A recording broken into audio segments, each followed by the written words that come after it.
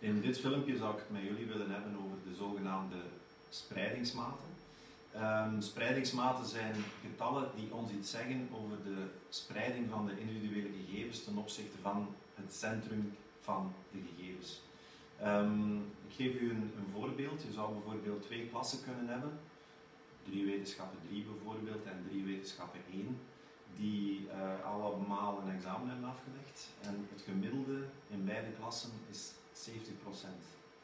Dan zou het kunnen zijn dat in drie wetenschappen 1 dat iedereen exact 70% heeft.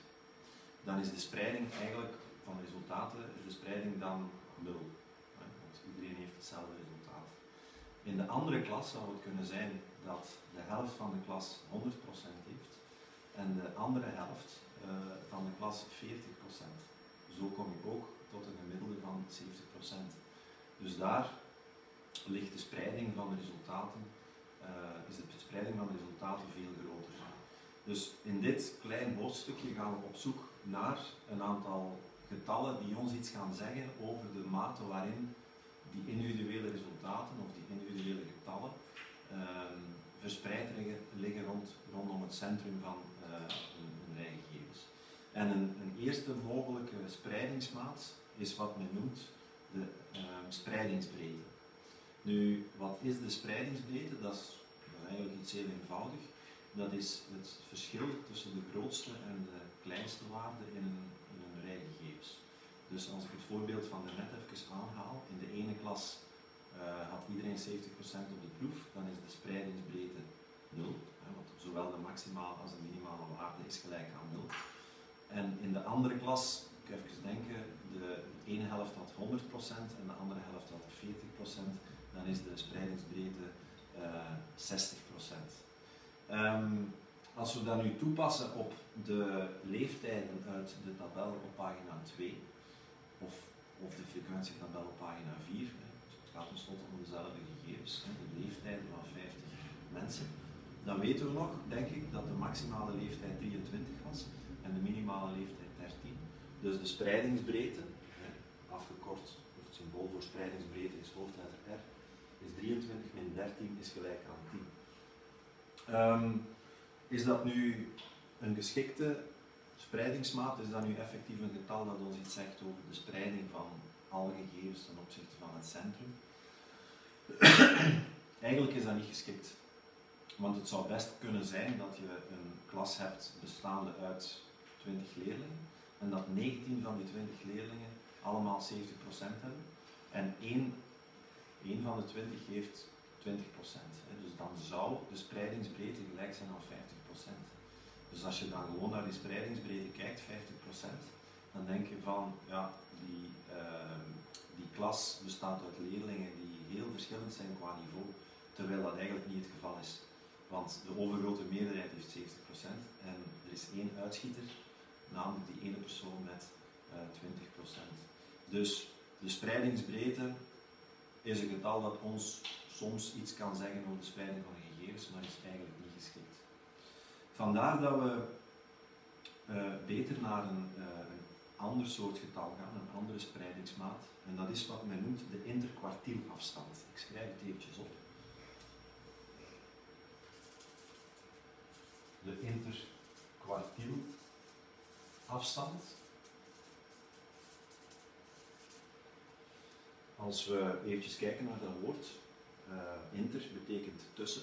Dus het gaat over de afstand of het verschil tussen de kwartielen. En in kwartiel hoor je al kwart, hè, een vierde, dat moet dus te maken hebben met 25 procent. Dat komt straks aan bod. Ik schrijf eventjes willekeurig een aantal getallen op, geordend, van klein naar groot. Um, bijvoorbeeld 0, 1, 1, 2, 3, 4, 7 en 9. Dus ik heb in totaal 2, 4, 6, 8 getallen in mijn geordende rij gegevens. Dan gaan we op zoek naar de zogenaamde interkwartielafstand. Um, hoe doen we dat? Dan moeten we in feite eerst op zoek gaan naar de mediaan van die geordende rij gegevens. Nu de mediaan, even herhalen van bij centrummaten, is uh, het getal dat ja, het middelste getal van een geordende rij gegevens, of de twee middelste getallen, het gemiddelde van de twee middelste getallen. Nu in dit geval heb ik een even aantal gegevens, hè, 2, 4, 6, 8. Dus die 2 en die 3 zijn de twee middelste getallen. Dus om de mediaan te bepalen, moet ik het gemiddelde bepalen van 2 en 3. Dat is dus 2,5. Die 2,5 die zorgt ervoor dat die geordende rij gegevens in, twee uh, wordt. Links van de mediaan heb ik vier getallen, 0, 1, 1 en 2.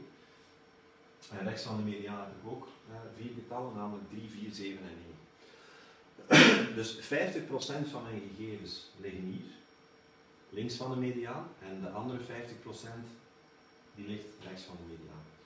Dus nu vergeten we eventjes de tweede helft en bepalen we terug de mediaan van uh, de eerste helft. Nu dan zit ik terug met een even aantal gegevens natuurlijk. Dan moet ik het uh, gemiddelde zoeken van 1 en 1, dat is natuurlijk 1. Dat is de mediaan van die geordende rijgegevens. De mediaan van de eerste helft noemen we het eerste kwartiel. Q1 is gelijk aan 1. En op dezelfde manier gaan we met de tweede helft uh, aan de slag. Dus 3, 4, 7 en 9. Om de mediaan van die geordende rijgegevens te bepalen, moeten we het gemiddelde bepalen van 4 en 7. Dus 4 plus 7 gedeeld door 2, dat is 5,5, 5,5. En dat noemt men het derde kwartiel. Dus Q3 is gelijk aan 5,5. Wat is nu de interkwartielafstand? Dat is dus de afstand tussen de kwartielen, afgekort delta Q. Dat is Q3, dus het derde kwartiel, min Q1. Dus in feite 5,5 min 1, dat is 4,5. Dat is wat men noemt de interkwartielafstand. En hoe groter dat getal, hoe groter de spreiding van uw gegevens uiteraard gaat zijn. Nu, die interkwartielafstand is een veel geschiktere spreidingsmaat dan de spreidingsbreedte. Waarom? Omdat je eigenlijk de uitschieters uitschakelt. Dus we gaan eigenlijk het verschil berekenen van twee getallen die een klein beetje naar binnen liggen in die geordende rijgegevens. Dus onze spreidingsbreedte was hier 9, maar die 0 en die 9, dat zijn, als, als er uitschieters zijn, zouden, die zich ofwel hier bevinden, ofwel daar, ofwel aan de linkerkant, ofwel aan de rechterkant van die geordende rijgegevens.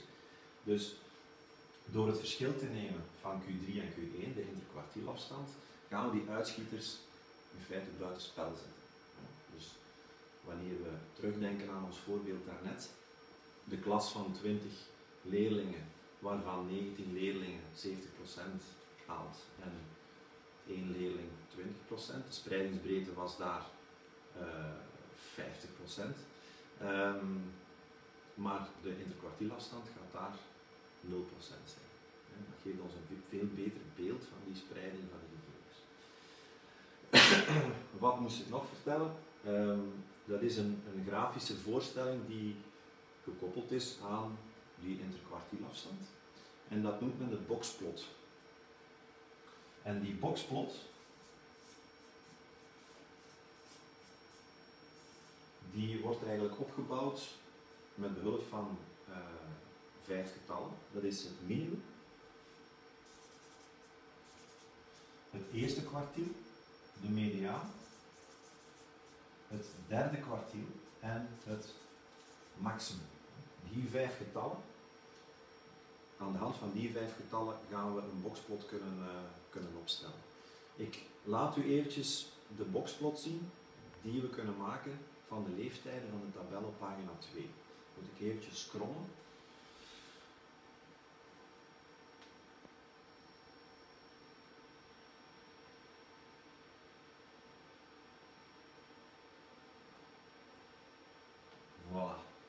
Hier zien we de boxplot. Dus het minimum van onze leeftijden was 13. Het maximum was 23. Dat wisten we al. Wat we nog niet wisten was wat het eerste kwartiel was, 14. Het derde kwartiel 20 en de mediaan was 17. Nu, die vijf getallen, die 13, 14, 17, 20 en 23, kan kan je heel gemakkelijk terugvinden met behulp van je rekentoestel. Dus je gaat de leeftijden, de 50 leeftijden, in lijst 1 steken of een andere lijst, dat maakt niet uit. Maar ik denk dat bij de meeste leerlingen de leeftijden in lijst 1 staan. En dan doe je stad, kalk, 1 var stads. En dan staan die vijf getallen daartussen. Samen met nog een aantal andere getallen, bijvoorbeeld het gemiddelde. Maar die vijf getallen, minimum eerste kwartiel, mediaan derde kwartiel maximum, heb je nodig om zo'n boxplot te maken. Als je niet meer weet hoe dat je dat tevoorschijn moet toveren met je rekentoestel, is kalk 1 van stads. Kijk naar de links van de filmpjes op pagina 10 in je bundeltje, de digitale versie, hoef je gewoon maar aan te klikken. En dan kan je daar nog eens naar bekijken. Um, dus hoe zit die boxplot nu eigenlijk in elkaar? We gaan een eiking aanbrengen, dus een getallenas maken met andere woorden vanaf uh, ons minimum tot en met ons maximum, in dit geval centimeter onderverdelen. En dan uh, gaan we hier eigenlijk een streepje moeten trekken ter hoogte van het minimum en ter hoogte van het maximum.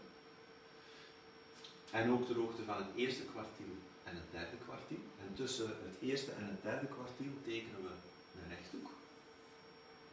En dan een breder streepje ter hoogte van de mediaan. En we zetten er telkens ook bij waar het minimum zich bevindt, het eerste kwartiel, de mediaan, het derde kwartiel en het maximum. Tot zover de